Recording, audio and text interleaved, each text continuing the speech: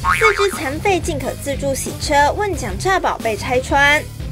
说自己撞车受伤残废，只能坐轮椅领四百多万保险，却被看到走路 shopping 还能提水桶洗车，逃薪问奖诈保被抓到了。他二零一三年七月时骑车自撞受伤。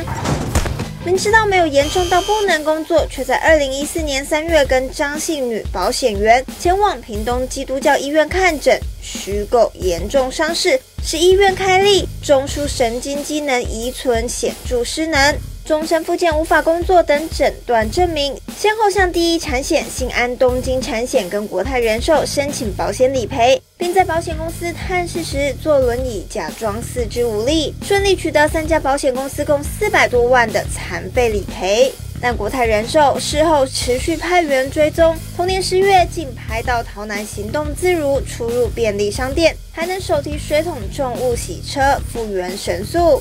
立即报警，请检警查办。张女坦诚是保险顾问，陪陶男到医院看病时，陶自己开车来，但他人建议他看诊时坐轮椅。陶男则供称，他都是依照张女教导装残。